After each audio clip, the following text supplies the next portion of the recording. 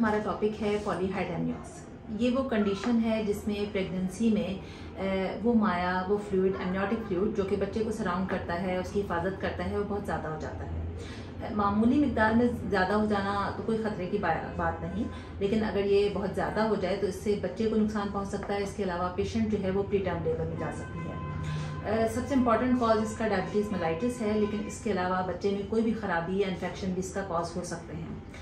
तो बहुत सारे लोग जो हैं इसको सीरियस नहीं लेते और अल्ट्रासाउंड कराने में डिले कर देते हैं। हालाँकि इसकी जल्दी तशखीस इस बात को बेहतर करती है कि आइंदा किसी भी किस्म की पेचीदगी से बचा जा सके।